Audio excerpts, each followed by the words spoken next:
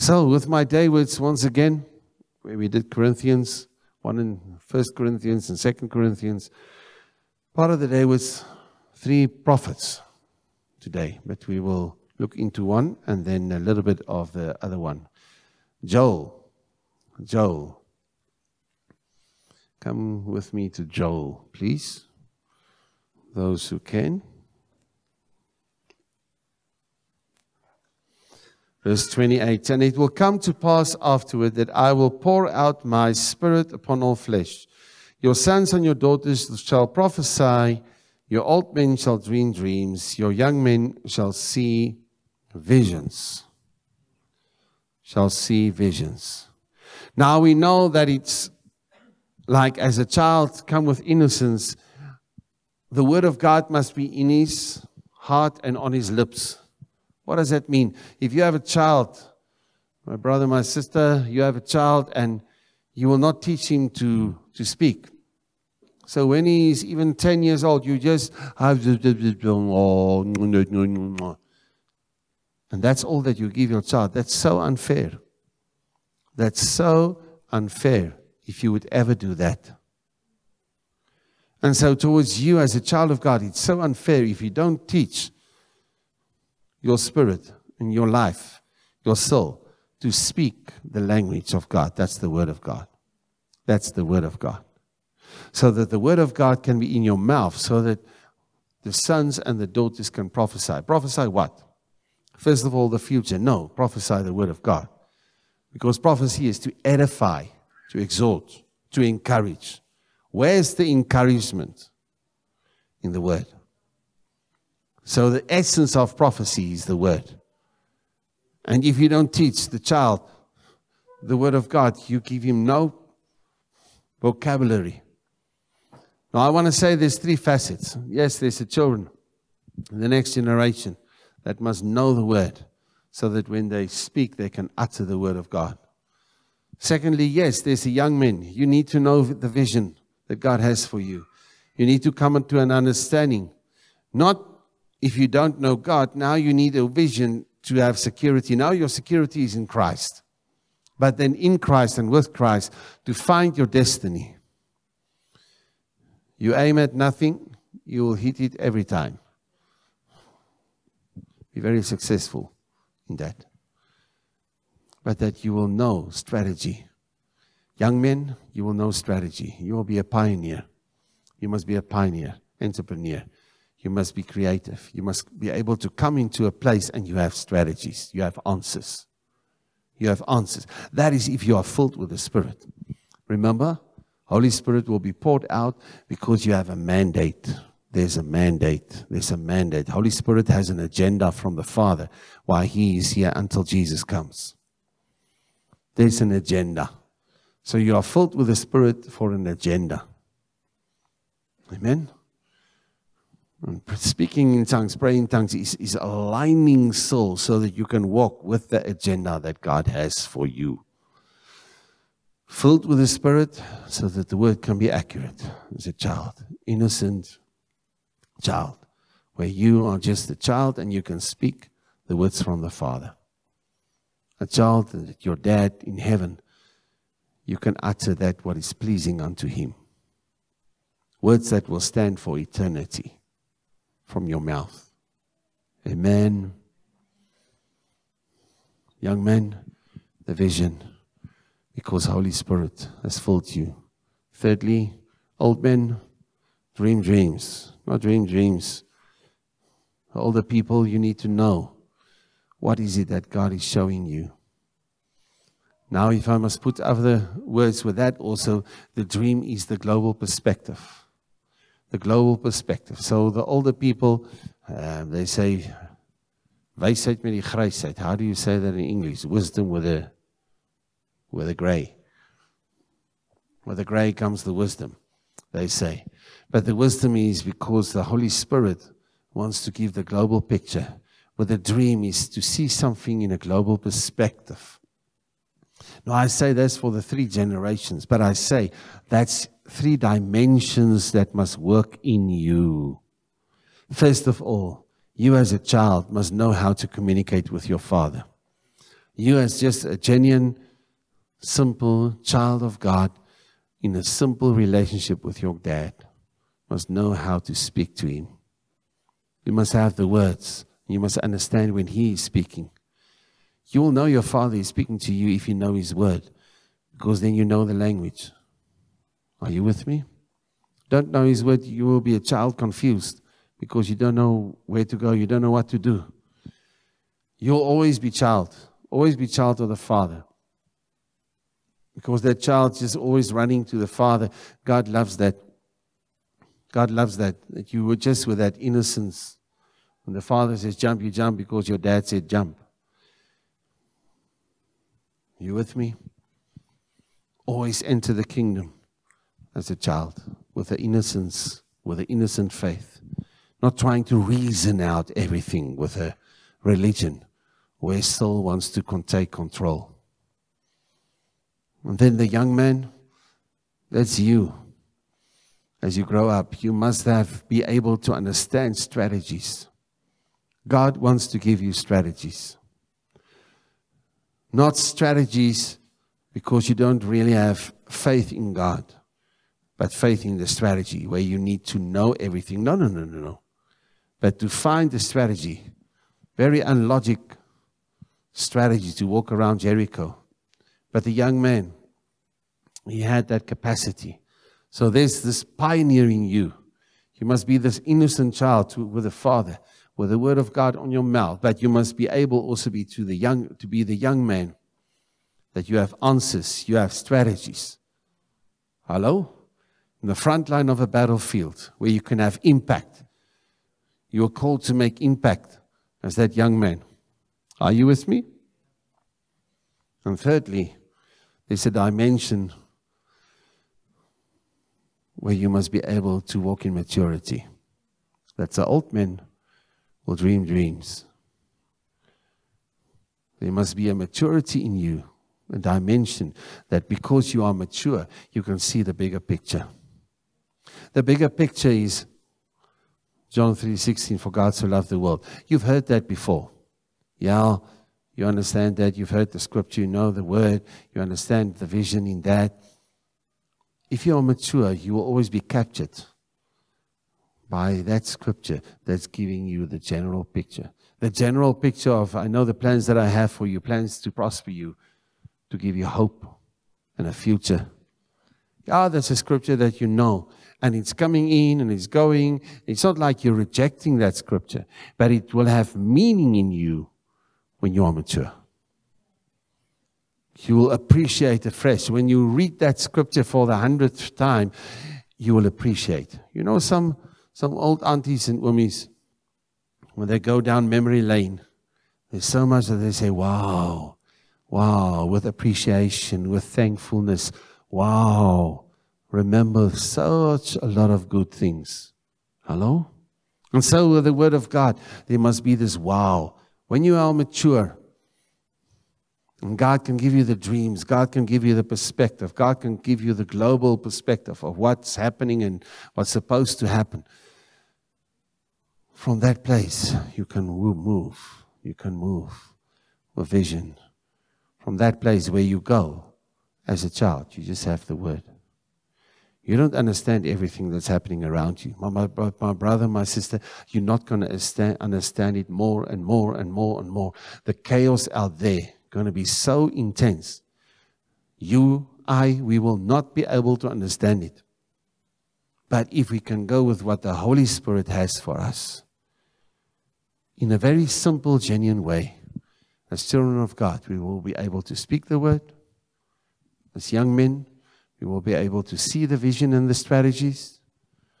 As the mature, we will be able to understand the global picture that God has only the best for us. Oh, He will always protect you.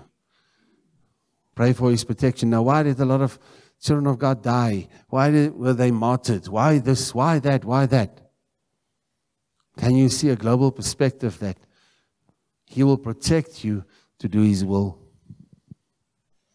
He will not just protect you so that you are protected. He will protect you to do His will. And if it's the end, so that those who can who will come after you will take it further. Then that seed of your life need to die so that 30, 60, 100 fold harvest out of your life can come. But if the world, if the people need the 30, 60, 100 fold harvest,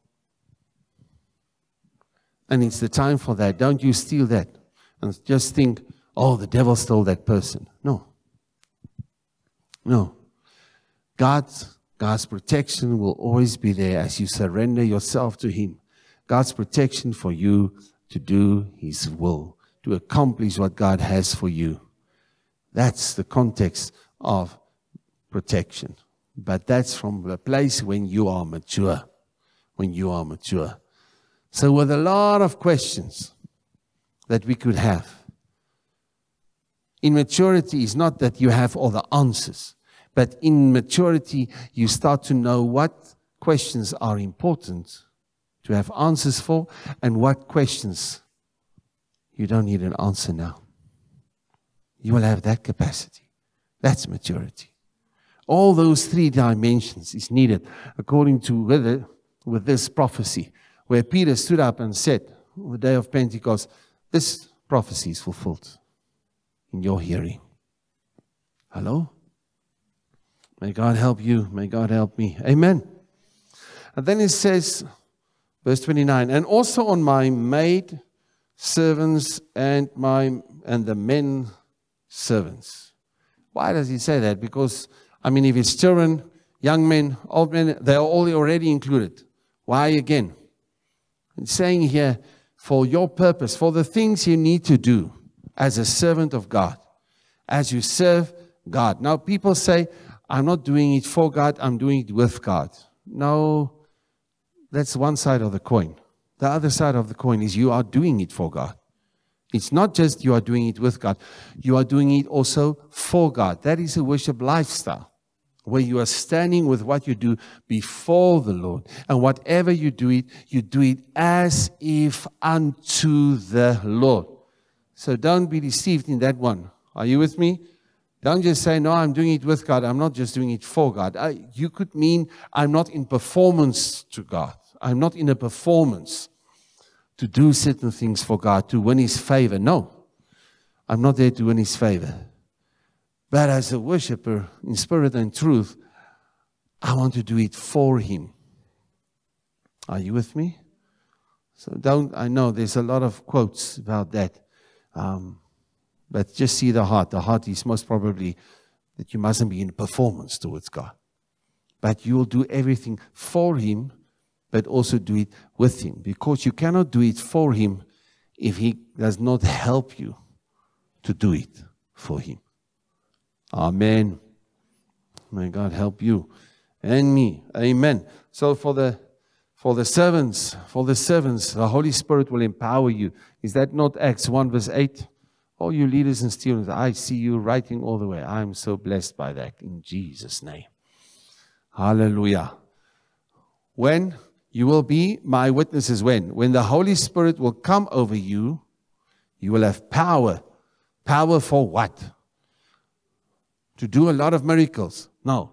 Power to be my witnesses. To be my witnesses. Because, my brother, my sister, the word says, at the end of the day, people will stand before God and they say, But did I not prophesy in your name? Did we not drive out devils in your name? Did we not do we did all these signs and there was manifestation of power, man. A lot of amazing things happened, confirming that what we did was right. Not necessarily. The deception can be so great that the enemy will be even able to fake it in that way. How will you be strong? Start from the place of your spirit, where you pray, where you speak, where you sing in accuracy, accuracy, accuracy. From the place of perfection, perfect prayer, perfect utterance, perfect song. You have it in you. That perfection is in you. But if you don't never pray in tongues, how do you believe? Will you be accurate? How do you believe will you, you will not be deceived? If God has given you that. Come on, guys. And the guys that you know that is not speaking in tongues, yes, God wants that for them also. Don't be selfish. No, you will not judge them. You better not judge them. But if you love them, you will speak to them about what God wants to give them. That they don't have to run to Joburg, but they can take the Ferrari. Are you with me? There's so many places where we're supposed to go with a Ferrari. May God help you. So that praying in tongues, another time we will talk about how tongues can develop in, in so many different ways for so many different purposes. I remember in Pretoria when I worked there to work off the medical bursary, I got a lift from with this one guy. He had, I don't know what the name was of that bike, but the bike, it's one of those you are here and the next moment, oh, you are there. and uh, I prayed in tongues very, uh, very, a lot of times, you know, very loud even. Sock with a guy gave me a lift. He always told me I must pay extra money because I have angels going with. He was an atheist. And uh, one evening I just felt I must pray in tongues now. So I pray in tongues. The next day, that guy spoke to me at the job where he was working with me. He said, no, he was going for it on, with his car on, on the gravel road. And it happened, I mean, he went in a, he had quite a few accidents of rolling and doing this and whatever, whatever.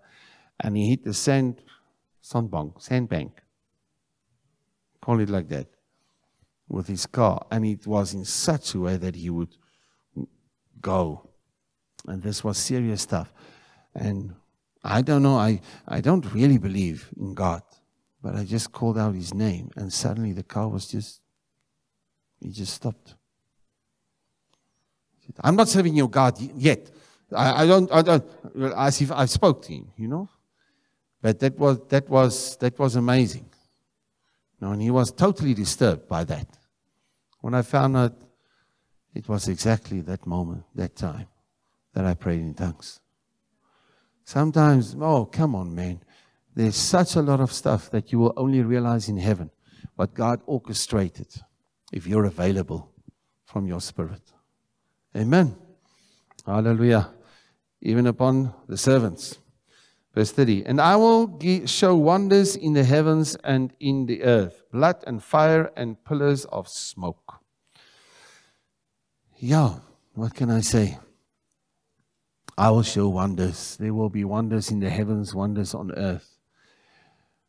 A lot of what we just said now about people that will be able to do a lot of wonders, but from demonic sources. But God also going to do wonders. And my question will be, are you just going to see the, the, the signs of the end time out there because of any form of sign? Or are you interested and are you responsible to make sure that you can understand the signs that Holy Spirit is giving? Signs in the heavens. Where? You are seated with Christ in heavenly places. Hello. And that's a different dimension. It's not the heavens where literally God is sitting on the throne. But there's a dimension in the heavens where you are with Christ in heavenly places. And from there, you will see power. You will see what God will do as you take up the authority in prayer with the word, with what God has for you. If you understand your stature with Christ in heavenly places, you will see miracles from the Holy Spirit if you are filled with the Spirit. And on earth, practically, not just in the heavens. You shall see miracles with your prayer, with what you speak, with what you do. No, in, in practically on earth, you will understand this is Holy Spirit. This is Holy Spirit. Are you with me?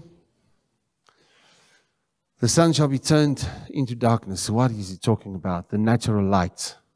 The natural understanding of things will not be there anymore. What is allowed now through governments what is okay today. 60, 70 years, would, it's, they would say this is freaky. How on earth will ever, ever that be possible? That that will be legalized or this will be right. That will be okay to do. It's impossible. And more and more people are just deceived, deceived, and it will be okay. And the, and the sun will be turned into darkness.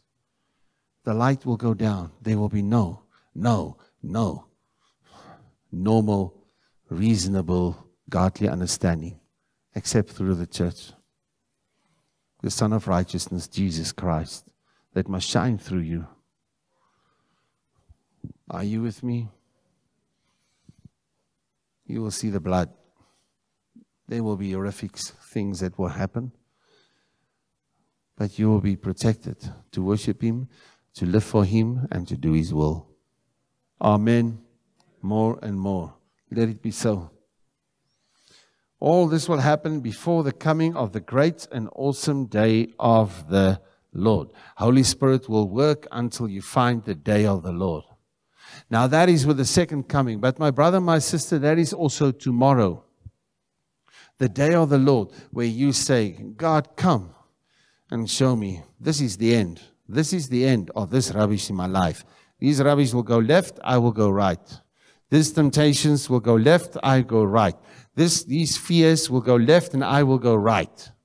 These performances that just dry out my bones and, and I'm just tired and I'm just finished with all these chachas. No. The day of the Lord is the day of judgment where there's judgment over that thing.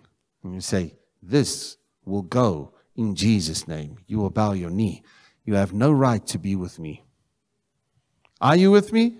So if you're walking in the Spirit and you are, you are led by the Spirit because the Spirit is poured out over your life, you will not fear that day.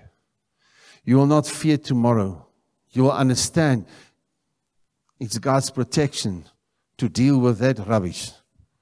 Where God bring you in T junctions, T junctions, T junctions. Are you with me? To choose. We will talk about Jonah, how God brought the T junctions every time with a storm, with a fish, with a tree, with a worm. T junctions for him to deal with certain stuff. It's the day of the Lord. It's my day, God said. It's not your day. Now, tomorrow, let it be God's day in your life. Where God will have the final say, and God will say right, and these things in your life left. These ideas to the left, you to the right. God, I thought this was for you. If you bring your life under the guidance of the Spirit before Him, the T junctions will be there. And your days will be the days of the Lord. Not just for yourself, but only Holy Spirit can help you, can help me to bring that and to do that. Amen. It shall come to pass that whoever calls on the name of the Lord shall be saved. It shall come to pass that everybody lives a perfect life will be saved. No. That even in your brokenness, even in whatever you go through, don't be ashamed, but call on the name of the Lord. You will be saved. I'm not talking about just calling on the name of the Lord and you're saved from eternal hell. I'm talking about tomorrow, call on the name of the Lord. You will be saved from that snare from the enemy. Call on the name of the Lord and you'll be saved from that situation that can suffocate you, that can drown you. Call on the name of the Lord, He will be there. Don't wait until you're perfect. You will never be perfect. But God is faithful, God is gracious over you. As you call upon Him, He will be there, ready to save you. For in Mount Zion and in Jerusalem there shall be deliverance. Mount Zion and Jerusalem. Mount Zion, the platform God gives you to worship Him. On the platform, you will share your opinion. On the platform, you will, when you have success. I've seen that people in Creary, and even when they are sent out, sometimes I feel discouraged. Sometimes I feel great, Lord. Sometimes, Lord, where did we build wrong with some of these guys? I don't know. Because when they get a platform of ministry, just like things change with them. But God must help you, Gail. God must help me. Because pride before the fall, pride was when the man, the, the, the angel in charge of worship, when he got the platform, Lucifer, most beautiful angel in heaven, When he got the platform, he took the glory for himself. Mount Zion, you are saved when you, you are in that place to give him alone the glory. When you are successful, that you will give him the glory. When you are in trouble, you will give him the glory. In spite of, still I will honor you. You are saved. You are, you are in a place of safety when you understand that. That with every platform God gives you, you will give him the honor. That is Mount Zion. That's not the mountain with the devil giving you the, the kingdoms of this world. But that's where you stand with God. And Jerusalem, the name, the word Jerusalem, that means habitation of peace, the place where peace dwells. The peace of God, not just a ceasefire, but where God, as the peace, dwells, where God Himself dwells, where there's peace, where there's safety, where there's security, where you are safe with your Father, safe with your hero, safe with your King, safe with your standby, counselor, guide, the Holy Spirit safe with your brothers and sisters. It's walking in maturity led by the Spirit. In that place, you are safe. But because we are so many times, not are, were, we're going to change, in the flesh, then so many times we don't feel safe with one another. May God help us, amen, to be changed. I leave you with that from Joel. And go for a landing with Jonah. Joel, Amos, and then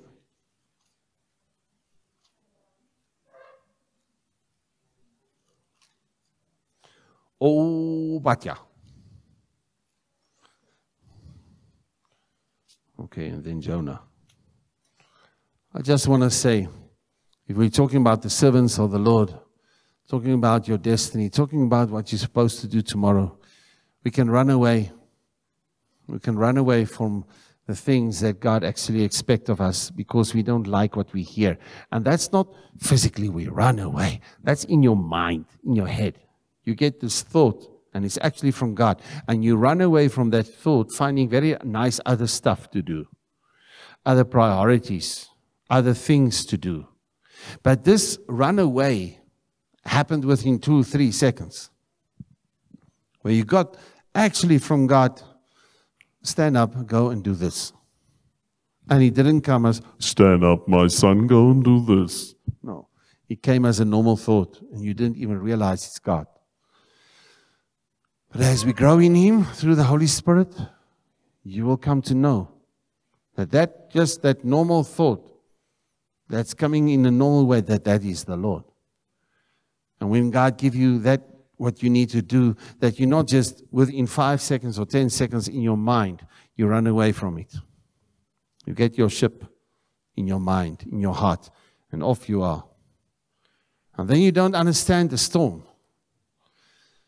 But the storm is God's miracle. You stand against the storm in the name of Jesus Christ because it's from hell and all the devils organize it in your life because you are walking with the Lord Jesus. And meanwhile, you are chasing the devil and he's not even involved. He's thinking, Are you crazy? I'm not involved. Hello? And by God's mercy, He stands the storm to lead you into repentance, to lead you into the place. So you need to hear from the Holy Spirit. God is this storm, a place where I'm not in your will, or is this storm to show who you are? And your greatness? Is this storm there so that I must rise up and stand up with authority and say, Be still? And that God be edified and glorified through what happened. Is this storm from you or is it from the devil? And Jonah had that capacity to understand that. When it was the storm, he said, It's me.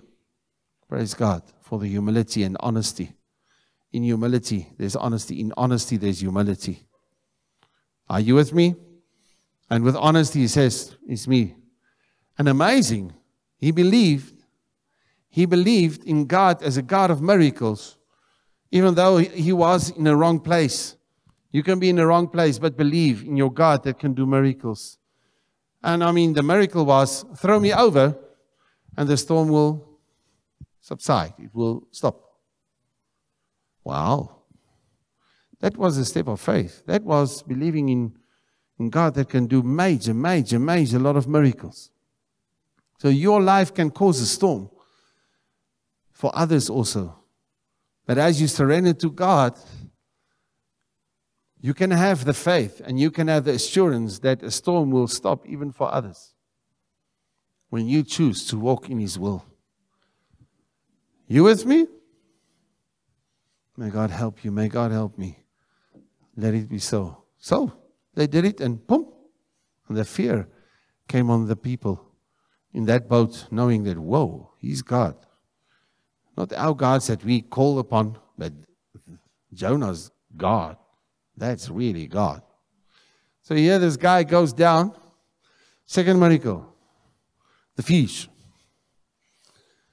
And for three days, there's no fermentation. What do you call that?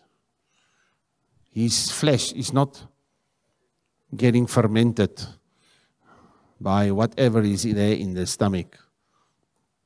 Hello? Okay. See yourself three days in the stomach of a fish, man. Yo. God, I just chose to obey. I just repented. I just I gave myself with all honesty, and this is how you reward me that I'm being eaten live by a fish and I'm going to have a very, very, very slow death. Bring his life before the Lord. Next miracle. Never saw a fish spitting. But yeah, this fish spit him out. This guy. Hallelujah. You're with me? Sometimes you can feel, I did this thing for God and I even repented. But now it's even worse. Inside of a fish, it's worse than in a boat. Are you with me? And we out there, okay, he will go with a message. He will go with a message. And when the people repented, he went to go and sit and see how the word will be fulfilled. But he didn't focus on the heart. Let's go with verse 2. So he prayed to the Lord and said, Ah, Lord, was not this what I said when I was still in my country? Therefore I fled previously to Tarshish, for I know that you are a gracious and merciful God. I mean, he just received that grace and that mercy all the way through with a major lot of miracles slow to anger, and abundant in loving kindness. God didn't rose up in anger with Jonah. One who relents from doing harm. Therefore, now, oh Lord, please take my life. What a tantrum. Is it right for you to be angry? God asked him. Guys, many times when that anger or irritation or frustration with people, and even yourself, but with people around you, rise. You say, where does that arrogance come from? God's not allowed to give those guys grace, and you will not give them, but He has given you such a lot of grace in your life. Do you have the right to be angry? Do you have the right to be having that frustration, irritation, and that issues with people? Do you have that right? God asking you. Because if you know my grace, if you are thankful for my grace and my mercy over your life, then in the fruit you will know you are thankful. And the fruit will be you will stop this, these things with people. So easily frustrated, irritated, anger. Ah, God help me. I don't know about some of you guys also but that we can come into that place. We have the right to be angry. And even, you know, even with this guy throwing a tantrum, he didn't repent yet, but even in the tantrum, God's grace, God's mercy, He organized for him a tree, a, a, a wonder tree. What do we call it? A miracle tree. God organized for him to have some shade. But God wanted to teach him a lesson. So he's not just the amazing storm, miracle storm with a miracle calmness in the storm, a miracle fish and the miracle out of the fish. Hello? It's not just the miracle tree. The next day is the miracle worm also. Okay. And tell me a worm that can eat a whole tree within a day. Hallelujah. But okay, it withered and died. What am I saying? For God to show him. What you are, what you have, is just grace. Even if there's a worm, the worm can take away from you what you feel is great. Hopefully, there's not a worm working in your life because of ungratefulness. Are you with me? So, my brother, my sister, I leave you with that. In whatever you come with, when you are filled with the Spirit, there will be grace, there will be mercy, there will be patience, that will, there will be long suffering. There will always be the faith that God has an excellent plan with this man. Because the Holy Spirit will pour out the love from the Father into your hearts. Romans 5 5. Give me a high five. High five is what? Holy Spirit will pour out the love from the Father in your hearts. So if Holy Spirit work, then the fruit of the Spirit will be there. Essence of everything is love. God, come and help us. We trust you for that. We pray that, Lord, we will not ignore your Spirit. Holy Spirit, forgive us in that. But please, Jesus, as John said, you were baptized in the Holy Spirit and with fire. Come and baptize us afresh in the Holy Spirit and fire. Lord, even as we pray with people, find prayer partners that become strong from our spirit in the Lord. Thank you that you will help us, Lord, and that we will see the miracles of God, that we will not forget the miracles of God because we choose an attitude to be thankful, to be grateful for what you've given us. Teach us that humility. We thank you for that, Father. We can do that. We can go and be led by your Spirit. We choose to be sincere as a child. We choose to come with your strategies, not our own as the young men. We choose to hear your global perspective, your dream as the mature. Lord, come and do that and help us that as servants, we will do it not by power nor by might, but only by and through your Spirit. That's our prayer in Jesus' name, as all say. Amen. Amen.